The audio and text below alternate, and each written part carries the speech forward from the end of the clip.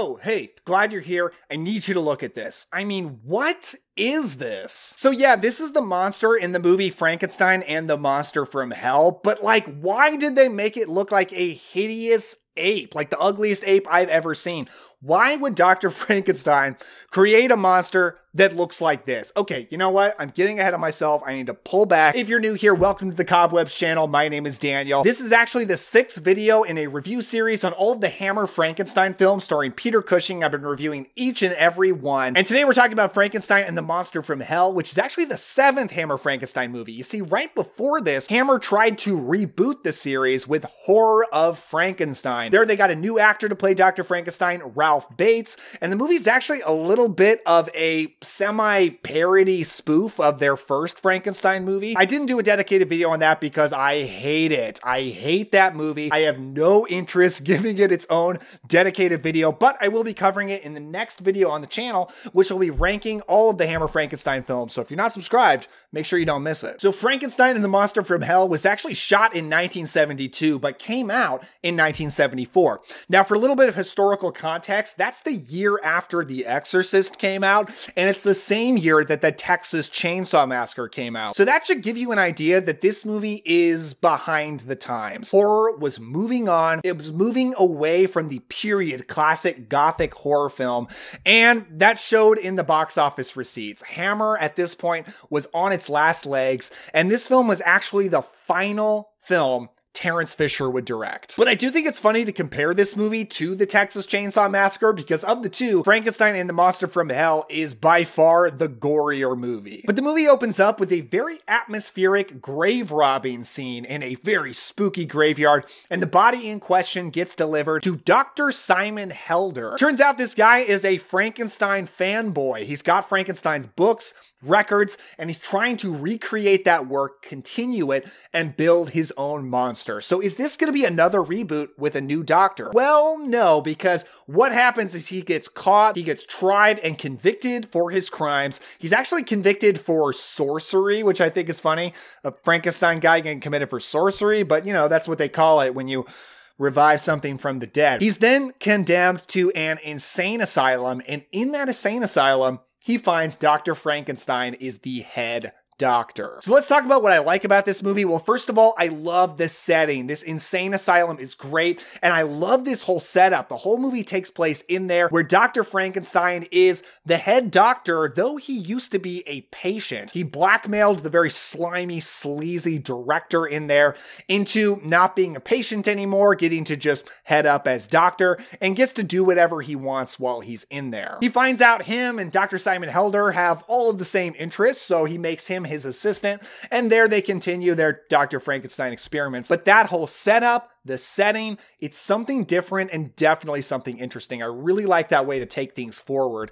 And if you think about the past movies in the series, I do still think Frankenstein Must Be Destroyed is a one off. I'm not really taking that into continuity. But if we look at the movie before, Frankenstein Created Woman, I think this continues things very well because at the end of that movie, you know, Frankenstein's creation jumps off a cliff to their death. And I figure the townspeople figured out what Dr. Frankenstein's role in that was tried him, sent him to this asylum, and now we continue the story in this movie. I also think that continuity works because of the next thing I like about this movie, and that is Peter Cushing as Dr. Frankenstein. Now, he makes an awesome entrance when he comes into this movie with a top hat, a cane. He's looking awesome, except for the fact that he does have a pretty fake looking wig. It's not super great, but Peter Cushing was in poor health when he made this movie. They shot this film the year after his wife, Helen, passed away, and anybody who knows anything about Peter Cushing knows that his wife's death just devastated him and it really took down his health, his appearance. But even taking that into account, Peter Cushing is awesome in this movie. He is in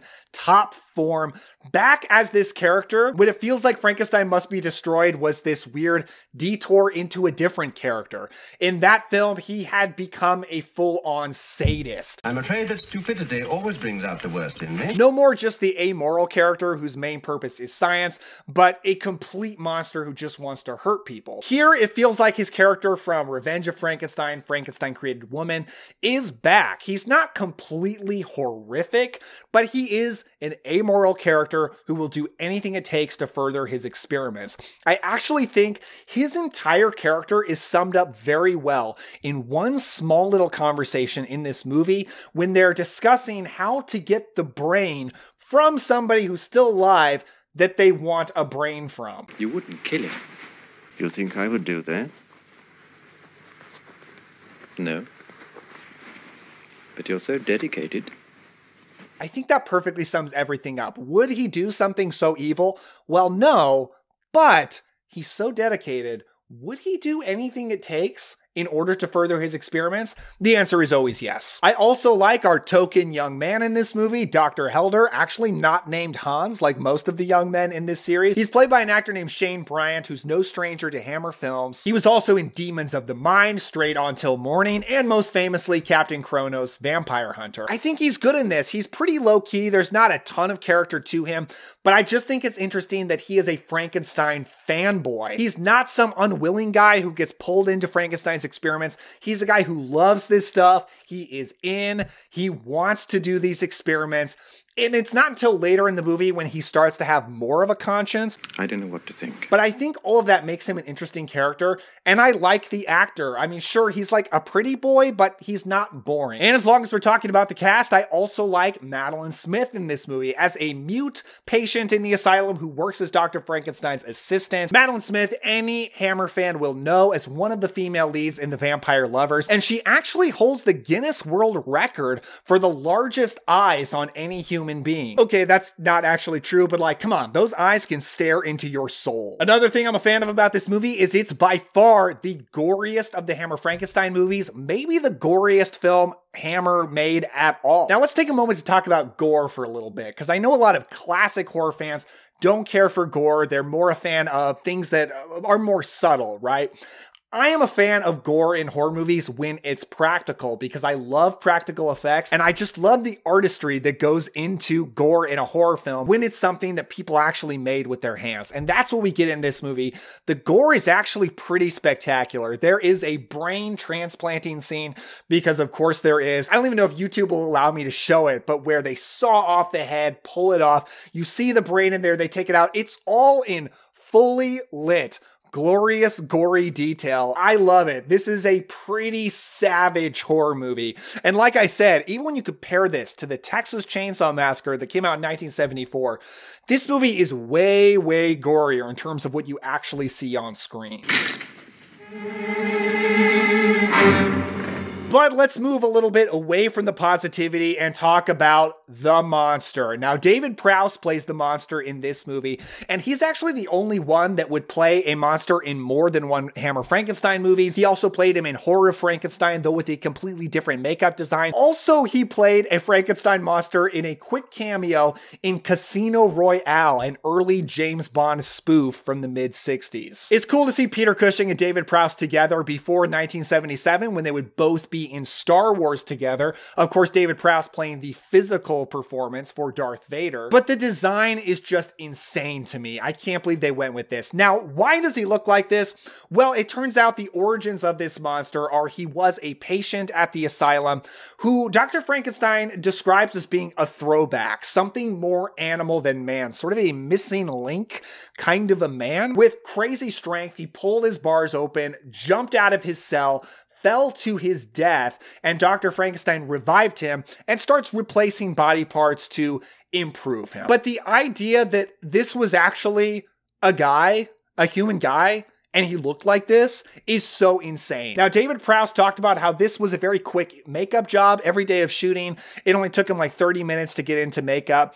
And I believe it because it just looks like a suit and a mask. I mean, his mouth barely even moves when he talks. It looks very fake. Now, I do appreciate that they're at least trying to make him look like a monster. In the Peter Cushing series, they haven't really done that since Evil of Frankenstein. And I think I would just feel better about it even if he didn't have so much hair, if he just didn't look quite so ape like like. But the actual experiment in this movie isn't really anything special. I mean, they revived this guy, they're switching out a few body parts, they're switching out his brain, of course. But the only thing that makes this movie really different is they succeed with the experiment about halfway through. The rest of the movie is them trying to maintain it, trying to keep the body from rejecting the brain. And Frankenstein comes to the conclusion that they need to do something to retain the essence of the man.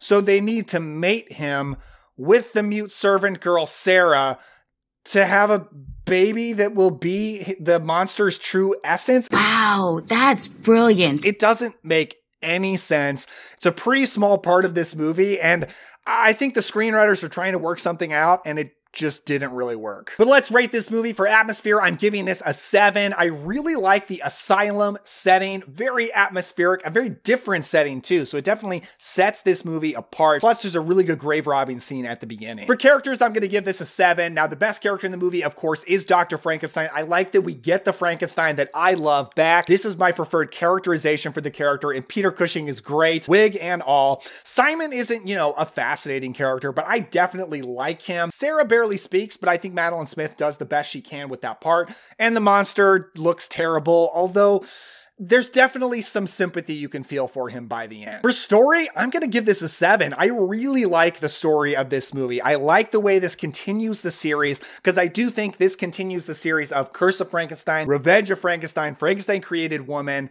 and then this movie very well. I think it's a good four part series with the other ones being one offs.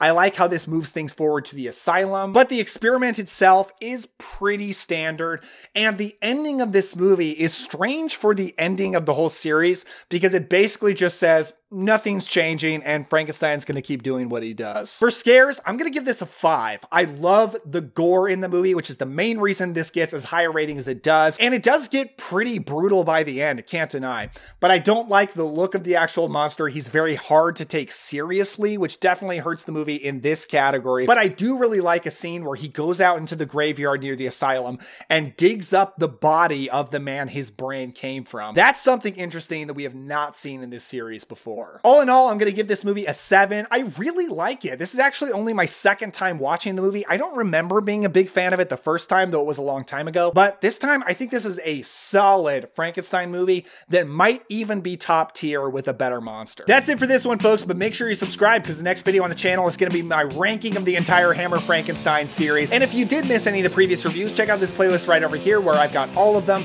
Give this video a like if you enjoyed it. Thank you so much for watching. With all that said, don't forget to enjoy yourself today, have some fun, and I'll see you next time.